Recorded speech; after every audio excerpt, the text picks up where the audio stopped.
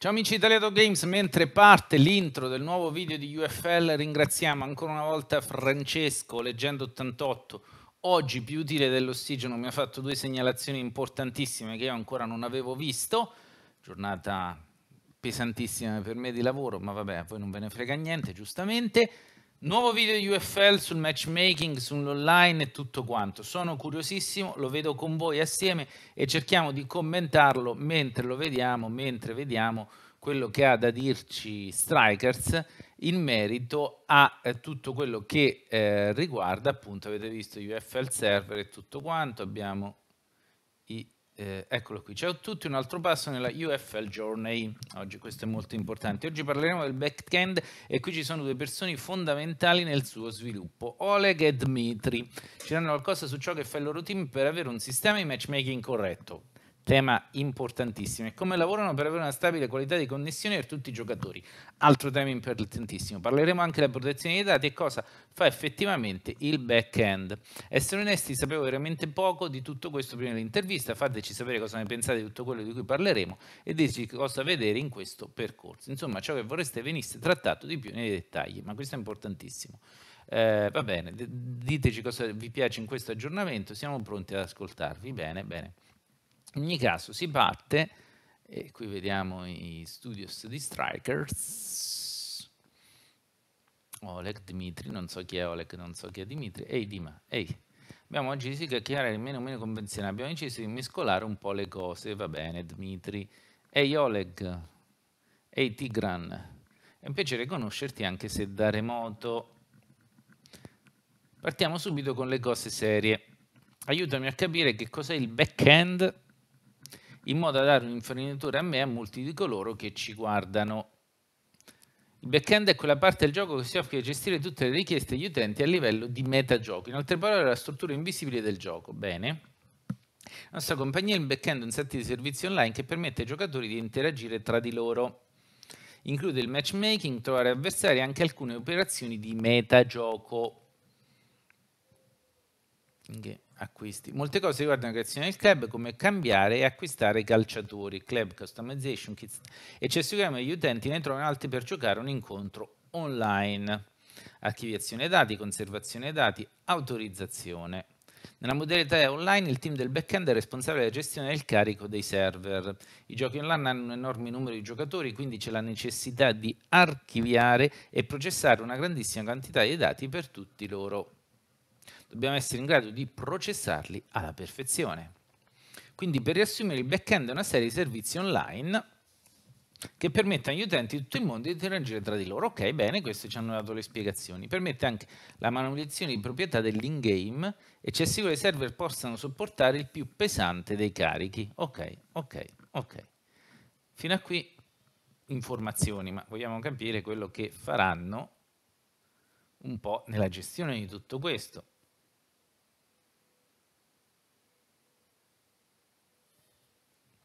Dima, una domanda per te che ho dimenticato di fare all'inizio. Quali sono le differenze tra il tuo lavoro e le responsabilità di quelle di Oleg? Vabbè, questo ci interessa relativamente. Come interagite voi due e come vi dividete i compiti? Penso potrebbe aiutare tutti noi a capire meglio la struttura del vostro team e le vostre risposte. Ok. Sì, io sono direttamente coinvolto nella pianificazione del processo di lavoro e nella gestione del team. Sono responsabile della pianificazione dei compiti, dell'assegnazione di priorità alle funzioni e della sincronizzazione dei processi paralleli. Ed è mia responsabilità coordinare la nostra squadra con i producer e i game designer degli altri dipartimenti. In pratica sono il project manager del back-end, ciò significa che sono il contatto tra il nostro team, gli altri team e processi esterni. Mi devo assicurare che il team del back-end completi tutti i compiti assegnati con un buon livello di qualità all'interno del team stabilito in maniera coordinata con gli altri team.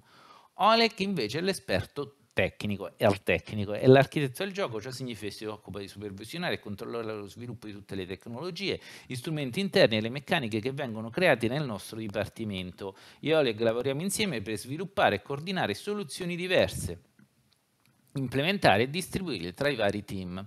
Dall'altro lato possiamo anche decidere quando è tempo di chiedere aiuto da parte degli altri team ed io mi occupo di chiedere quello che ci serve. Ok, lavoriamo a stretto contatto, ci completiamo per così dire. D'accordo ragazzi, bene, sì sì è così. Ok, passiamo al metagioco, sono 5 minuti e vediamo un po' eh, di capire quello che, che farà questo gioco. Il metagioco racchiude tutta la logica dietro a cose come la scelta dei club, completi, acquisti in game, ok? E molte altre cose di cui i giocatori apprezzeranno l'utilizzo nel gioco. Bene, come la personalizzazione del club, le impostazioni dello stadio, modifiche della squadra, scegliere i completi, scegliere equipaggiamenti specifici. Questo è il metagioco. In pratica tutto ciò con cui l'utente può interagire, eccetto giocare effettivamente un incontro, è metagioco. Va bene. E per spiegare come questo appare la nostra prospettiva come gli sviluppatori del back-end, va più o meno così. Abbiamo dei client, abbiamo il nostro back-end che esiste da qualche altra parte, chiamiamo questo posto il cloud. All'interno del cloud ci sono diversi servizi che processano le richieste fatte da ogni client. Così vedete anche come funziona in football. Quando un client, client ci manda le richieste, noi le processiamo, le mettiamo nel database e ciò significa che prima dell'incontro successivo l'utente potrà utilizzare una delle qualsiasi formazioni salvate in precedenza e in più non si perderanno i giocatori acquistati o altre proprietà.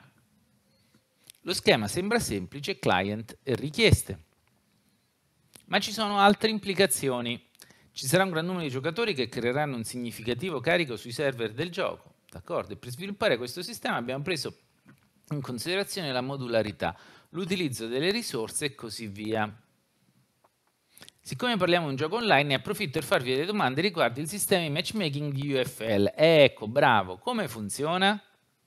Ci sono funzioni uniche che dobbiamo aspettarci? Potete dirci qualcosa al riguardo? Sai, il sistema di matchmaking in un gioco online, specialmente in un simulatore calcistico come UFL, è una delle meccaniche più importanti. D'accordo. Svolge un ruolo assolutamente fondamentale, vero? Onestamente temo di non poter dire molto sul funzionamento del sistema di matchmaking, ma come suggerisce il termine, il matchmaking è un set di algoritmi che permette incontri tra avversari basandosi su personali parametri di ogni singolo giocatore. Questi parametri possono essere cose positive, come statistiche di un giocatore paragonate agli altri e il loro punteggio negli incontri online, ma allo stesso tempo ci sono anche numerosi parametri negativi che lo influenzeranno, come penalità per abbandono degli incontri, infortuni all'interno della squadra. Basandoci su questo parametro viene calcolato il peso di un giocatore e quello diventa una base. Tutto questo definirà ciò che chiamiamo peso di un giocatore e lo useremo per il processo di matchmaking. Ci occuperemo di trovare il miglior avversario possibile.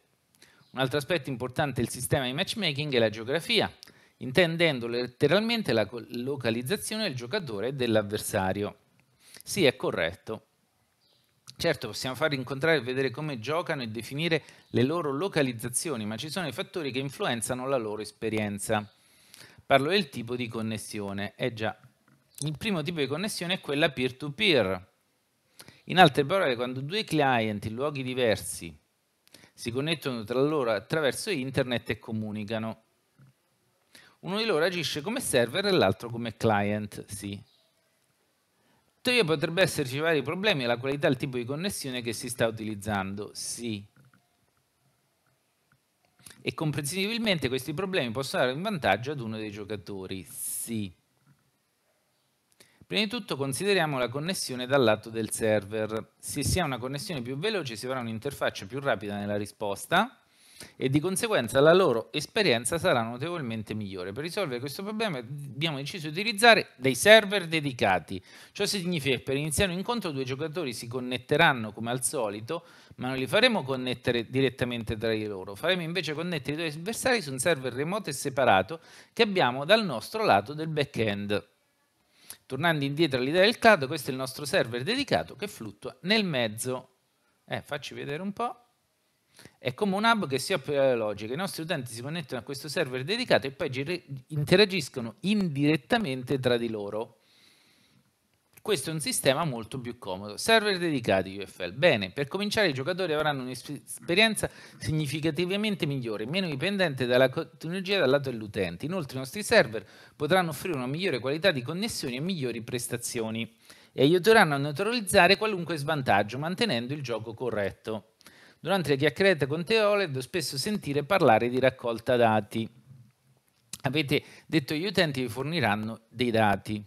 Potete spiegarci meglio? Chiarire di che genere di dati avete bisogno, perché sono necessari e quante informazioni personali otterrete e archivierete. Tutti i dati che raccoglieremo, tutte le statistiche sono uno degli strumenti principali che ci permettono di predire il comportamento di un giocatore. Cosa più importante, utilizzando dati reali possiamo ottenere una chiara visione di quali meccaniche e quali elementi funzionino correttamente e quali no. Per esempio raccogliamo dati riguardanti il modo in cui gli utenti interagiscono con gli aspetti del metagioco, a partire dai primi incontri come le loro informazioni, impostazioni e informazioni utilizzate e così via. Poi otteniamo dati riguardo gli incontri del giocatore dopo il loro inizio, come giocano gli utenti, il comportamento della palla, incluso ad esempio il numero di tocchi, le traiettorie del giocatore, eccetera. Prima di tutto questo ci permette di ottenere un buon numero di dati riguardo il bilanciamento del gioco. In questo modo possiamo determinare quali meccaniche funzionano bene e quali non vanno come vorremmo. Di conseguenza possiamo lavorarle per migliorarle in futuro. Non si tratta di avere un controllo totale, ma più di miglioramenti. Questo è uno dei modi in cui possiamo sapere che il gioco effettivamente funziona correttamente. Le statistiche ci servono anche a ottenere dati tecnici. Realisticamente non tutto potrà sempre funzionare alla perfezione nel gioco, ci saranno bug differenti e problemi di tutti i tipi e varietà. Non tutti gli utenti segnaleranno un problema una volta trovato, in più non è sempre necessario occuparsene con l'intervento umano. Quest'ultima frase non è che l'ho capita molto cosa, cosa volessi intendere.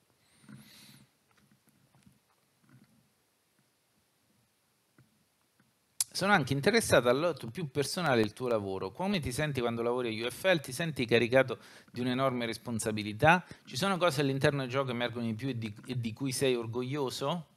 Mi sembra gli utenti non considerano spesso i sentimenti degli sviluppatori quando si parla di questa industria. Come ho detto prima, c'è la facciata di un progetto e poi il retro. Immagino ci si possa sentire dispiaciuti dal fatto che gli utenti non vedano esattamente ciò che facciamo, ma abbiamo un grande team di back-end e facciamo molte cose fantastiche. Devo dire che a volte è frustrante riuscire a creare degli approcci unici, delle, delle soluzioni a sfide ambiziosi, ma che niente di tutto ciò sarà visibile all'utente non pensano pure a ciò che facciamo quando tutto funziona correttamente, fino a quando qualcosa va storto e si rompe, solo allora pensano a noi, eh caro mio. Dall'altro lato l'anonimato può essere positivo, lo scopo è quello di far giocatori di far divertire i giocatori, punto, niente di più. Quando ci sono problemi sono coperti dal nostro team, per quel che mi riguarda, assolutamente. Essere coinvolto in un progetto AAA, un misto di citazione e nervi allo stesso tempo. Con ogni nuovo compito e funzione che aggiungiamo, ogni singola volta, se implementiamo una nuova funzionalità, aggiungiamo alcune opzioni o eliminiamo qualcosa di vecchio per renderlo perfetto. Ogni singola volta penso a come verrà giudicato e utilizzato un grande numero di persone. E nonostante il back-end non sia visibile come altre parti del gioco, richiede comunque molto lavoro. Sì, c'è sicuramente il peso della responsabilità, è normale che sia così. Ma dalla mia prospettiva non, non pesa costantemente su di noi principalmente perché cerchiamo di distrarci da esso così da non esserne influenzati mentre lavoriamo. Ci concentriamo su realizzare buone funzioni di ottima qualità, con l'obiettivo di migliorare il gioco meglio che possiamo. Ciò di cui stai parlando suggerisce che ci sarà un enorme peso sui vostri servizi online. Non sarà complicato? Come vi occuperete di questo aspetto? Ah sì, certo, un problema complicato. Credimi, stiamo facendo di tutto per prepararci, non puoi ignorarlo. Quindi facciamo molti test, strettiamo il nostro sistema con un carico che ci aspettiamo realisticamente di avere. Portiamo avanti anche dei test con carichi molto pesanti. Il test di carico è una delle procedure standard. Si fa per controllare come si comportano i nostri sistemi con il carico atteso in base al numero di giocatori, che ci cercheremo di vedere quando UFL sarà disponibile. Un'altra procedura è quella del testing sotto stress. Qui cerchiamo deliberatamente di sovraccaricare il sistema. Anche questa è una procedura standard e ci sono molti modi di svolgerla e ottenere i risultati desiderati. Abbiamo scelto una risoluzione esistente e l'abbiamo migliorata modificandolo secondo le esigenze e creando un Autobot, trasformatevi. Un bot che si occupi di simulare il comportamento degli utenti, ovviamente. Possiamo predire con insicurezza come gli utenti, ad esempio quali schermate utilizzeranno più spesso, quali azioni svolgeranno e così via. Abbiamo creato dei profili su come gli utenti generalmente reagiranno. Prendiamo quelle informazioni e le uniamo per creare ciò che chiamiamo un profilo di carico. Una volta creato lo diamo in pasto all'Autobot per ulteriori analisi. Può replicare il comportamento previsto centinaia di migliaia di volte, ogni volta emulare grandi quantità di utenti. Certo, grazie a questo automatismo possiamo svolgere questo genere di test molto spesso, anche più volte a settimana.